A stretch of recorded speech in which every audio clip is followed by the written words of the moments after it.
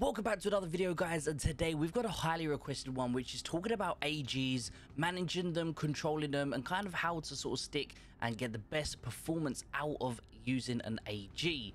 Now guys I did want to quickly start off this video by actually jumping into something we've already spoke about before but I think it's very important and that is the tactics. We're going to kind of briefly go over it. I'm not going to go through each and every single one please don't worry but feel free to use the timestamps if you want to jump straight into the next section. So with that being said, guys, I wanted to quickly explain the final part on the command. So if you are commanding an AG, this first tab here will explain to you exactly how you wish to actually perform with your rally. Now, do you want your rally to be a mixture of, say, an infantry and Howies, therefore you have something to tank with as well as something to attack with?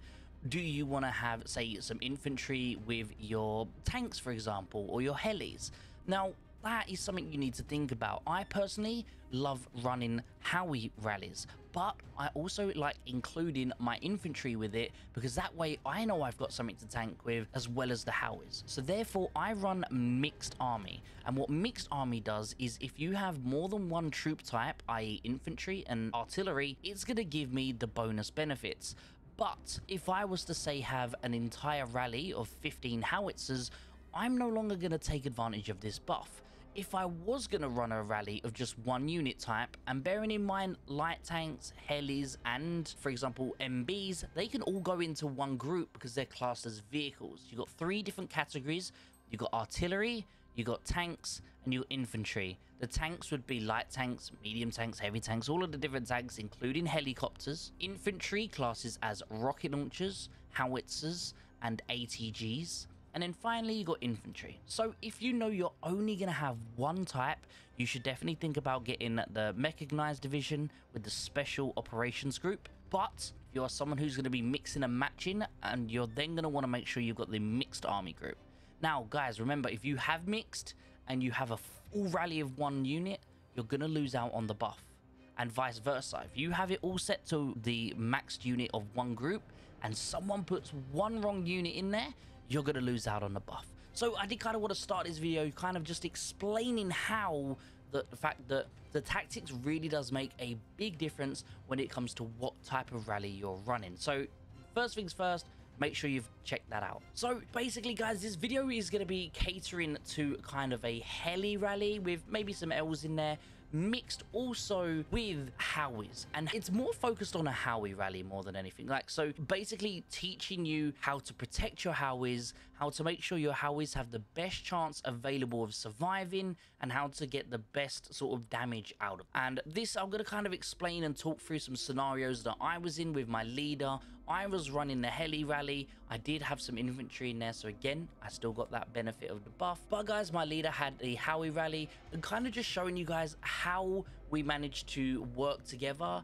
with the two rallies the best way to keep both rallies alive as long as possible. And not only that guys but i'm going to be showing you mistakes that not only i made but my leader made and then for going to kind of teach you on things you should and shouldn't be doing. So guys please let me know as well down in the comments if you'd like to see any more talking about rallies. Maybe you want me to talk about how you should be using a light rally or how you should be using maybe mbs and stuff like that. Please let me know down in the comments if that's something you'd like to see because as i said this is focused on mostly howitzers with what I had at the time was a accompanied by a helicopter rally. So guys, let's jump straight into the actual rallies themselves and I'm going to be giving you the feedback on performance that we done ourselves. So started off guys, I'm basically going to give you the core information and that is working as a team. Now, many of you might be thinking that it's pretty straightforward sort of tactic is working as a team because overall it is a team game.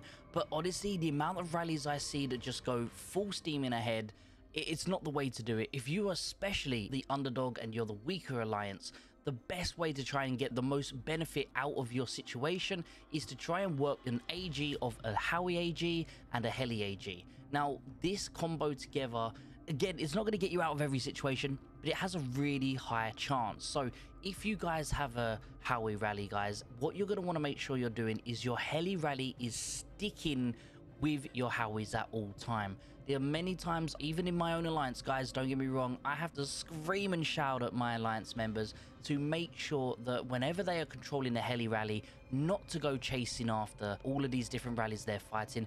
Make sure they are working with the Howies, staying within very close proximity so that in cases of like this, where you've got another rally coming in from behind, your Howies are always going to be protected because they're the main damage dealers at the end of the day. Sure, the helis can do a lot of damage to other helis and stuff like that and MBs, but at the end of the day, the core pure damage is going to be coming from those Howies, especially when sieging bases. So guys, for example here, the best thing I can show you is when it comes to the Howie AG, you notice how right now, I'm this is the furthest away I'll probably ever get in this video from my Howies. You need to make sure you're staying with them at all times. This is going to be crucial. Now, with Howies, most of you may know this, but the Howies can't be moving. If the Howies are moving, they can't be attacking. They have to be stationary in order to fight. So instead of making it so that the Howies have to chase you over the battlefield, and then they've got to start their four second timer, that gives the enemy AGs a lot of time to kind of come in, do some damage and get out. The most priority being as still as possible without them moving and you using your heli rally to sort of jump around them and draw these other rallies in, your Howies are going to be pre-charged, ready to fire instantly. And of course, the Howie's actual main benefit comes from their skill damage. So as you can see here, I'm getting in the way between their rally and the Howies in hopes that, you know, and as you can see here, we're just picking them off. As they keep coming, we just keep picking them off. We keep picking them off. I see another rally coming. I get in between that to stop them coming. And it's just a constant making sure that you are always with your rallies. See, I don't chase after them. You don't need to be chasing. Okay, guys, this is the one priority that I can try and inform anyone when leading a rally. Another thing as well, you notice how we're taking on this base here. At all times, I'm still keeping an eye on them. The moment that base goes down, boom, I sweep in to try and close the gap between the enemy rally and obviously the Howies. And then they start to chase and I pull them straight back. We don't need to keep chasing. If you keep chasing, you're going to end up getting away from those Howies. Those Howies are then got to chase after you and they're going to be losing out on their main priority, which is staying still. So the next thing here, people dropping in is a very common occurrence, especially in these sort of these fights that we're having. And as you can see, the people dropping in, we are trying our hardest to make sure that we're taking care of them as quick as possible so they don't have time to sort of organize themselves. So in this next sequence here, as you can see, we're currently in a fight. The moment that base goes down, boom, I jump over. My actual leader here, the leader is the one who controlling the Howies. He's making sure that he's keeping his head on a swivel. I'm keeping my head on a swivel. And I'm trying to make sure that whenever I'm tanking bases, I know what's inside so that at the least possible time, I'm always going to be taking the least amount of damage because at the end of the day, guys, we definitely do not want to be tanking something, say, with infantry if there's a max level rocket launcher in there. So you want to try and put as much protection on that tanking unit. Now here we kind of are at a difficult stage. We're not sure whether to hit the base or not because obviously as you can see here there is a rally right next to us. The moment we start hitting they're going to come and attack us. And at the same time I'm also noticing that I'm having to keep retraining my Howies. And then I notice that there is a couple of people here killing our reserves. So I type in the chat, Manny, they're killing our reserves maybe we should focus on moving back slowly but surely. And in that time, this split second of me not, I don't want to say not concentrating because I am still concentrating, but at the same time, look at this. The the rally has come. My Howies are now in desperate danger. I've I basically messed up. I took way too long to respond, but again, I was trying to also look out for our best interest. But the moment the heli rally comes, they start backing away, which is good. But at the end of the day, we've now only got two Howies left. This is obviously purely my fault. I'm not chasing too far. I need to get back towards the Howies to make sure they're safe. But at the same time, guys, as I said, we do want to make sure at all times we're keeping our head on a swivel, whether it be watching your reserves being drained, whether it be uh, enemy AGs coming after you. But as you can see here, I noticed that Manny had killed one of the attacking helicopters. Therefore, we just decided to go for it. We only have two Howies left, but Manny has a pretty strong one, and we managed to take this guy out. So the priority right now is making sure that these Howies are top priority of keeping them alive. And as you can see, because of the skill charged already being set, we're actually managing to really do a lot of damage to these units that are coming in. Considering, guys, I'm not going to exaggerate, the alliance we're fighting here is double our power. They are so strong. They're from server 9 as well. They have so much research as well. A lot of them have modern tech as well, which is kind of crazy. Most of them have 9.2 air units, I'm the biggest air unit in my alliance and I'm only 9.1 and it's not even maxed. So the fact that pretty much all of them have 9.2 air units, they're just so much stronger than us. So we really have to try and, you know, the best possible way is working as a team, making sure your AGs are synchronized and using the best AG tactics as possible. So guys, I just want to quickly mention that I kept making a mistake of retraining my Howies for some reason. I didn't pull them back in it happens, guys. We're in, in the fog of war. You can, you know, forget what's going on, get a little bit lost. But at all times, guys, please try and make sure that you're keeping your head on a swivel. You're remembering all these different things that are going on. It does take a long time. But with that being said, guys, when it comes to AGs, you have two different types of AGs. You've got obviously vehicle AGs and then you've got Howie AGs. You don't really see much infantry AGs, but eh, you know, I personally have got my tactics set up so that I can actually run two different types of units. So I have a Howies.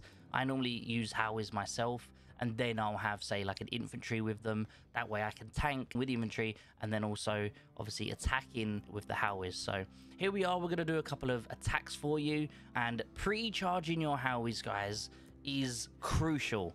Um, and I was even telling my alliance about this because they didn't think it was that important. But when you have a rally of howitzers guys always try and pre-charge your howitzers. And the reason for this, guys, is because you're going to get an extra volley off straight away, which is going to be with a full rally of howitzers. That's going to be a decent chunk of HP. And then you're instantly going to be on that two second cycle. Instead of starting off on four seconds, you're hitting straight away.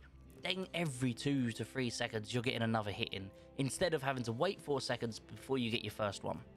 So you're just going to be doing a lot more damage. As you notice here, we start attacking, they pre-charge, and then instantly we're firing in. Now, if we hadn't pre-charged here, we would have lost a lot more units than that. But thankfully, we managed to obviously drop these down. The enemy AG was nowhere to be seen, so we managed to just clear this up nice and cleanly. Now, in a minute, you are going to see a bit of a mistake from me I do believe at the time, I don't know what, I think I was, my dog was barking or something. I know it's a bad excuse, uh, but my dog was barking like crazy and I had to basically take my eye off the screen for a little bit um, and I kind of get a bit distracted. It's not here, don't worry. Obviously, I do get pretty far from my Howies there, so it was a bit scary, but it wasn't in this section. You'll, you'll see it very soon. I'll point it out for you. But basically, guys, what we're doing here is we're trying to make sure at all times not to make this mistake either don't tank with your Howies. As much as you want to be eager to go, make sure you're waiting for the uh, tanking units to be initiating the attack. Otherwise, you are going to lose a lot of howitzers. So we kind of got lucky there. We kind of got lucky there. But even, you can't see the chat right now, but even man is just like, fuck. You know, he's um, he messed up. He knows he messed up, but it happens. It happens to the best of us. So as you can see here, we're tanking. The moment we start tanking, guys, this rally comes for us, but we can't really give up. We need to provide that tanking support for the Howies. But the moment our base blows up, I tell everyone to come down. But it's at this point where I kind of get a little bit distracted from the dog that I mentioned. And right now, I clicked on attack rat, but you notice how I'm not moving? My mouse is still...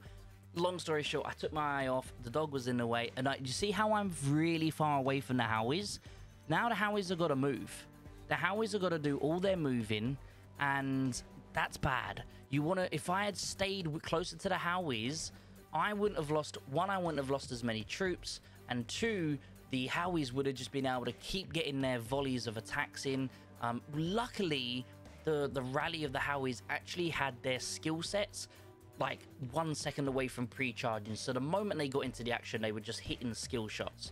And you notice here, the moment I see a guy fly in, I instantly get that rally over the top of him so that he cannot redeploy his base. The moment this happens, we are then able to take out the base because he can't deploy because there's too many troops around. But with that being said, guys, I just want to say massive thank you to everyone tuning into today's video. Please let me know if there is in any way shape or form anything i've missed in this video regarding tactics but honestly guys it's kind of a straightforward video but at the same time i kind of wanted to give you the best tips pointers mistakes i've made mistakes as you can see my leader made with me and just kind of point you in the direction if you are leading a rally make sure you are sticking by each other at all costs if you're controlling the howies try not to make them move if you can prevent them from moving, you're going to get more attacks in. Same with the helis. The kind of opposite, always keep them moving, back, forth, back, forth, but don't chase. Make sure you stay with the howies at all times. Once again, guys, I want to say a massive thank you to each and every single one of you for tuning into today's video. Hopefully this has helped you. Please let me know down in the comments if there is any videos you would like, whether it be helping you in Warpath, other kind of tips and tricks. And let me know, would you guys like to see an updated officer pairing list in when the next officer comes out? So whenever there's another update with officers, let me know. Would you guys like to see a new and up-to-date officer pairing list? As always, guys, I appreciate you all. Loving each every single one of you, and hopefully I'll see you all in the next video. Take care, guys.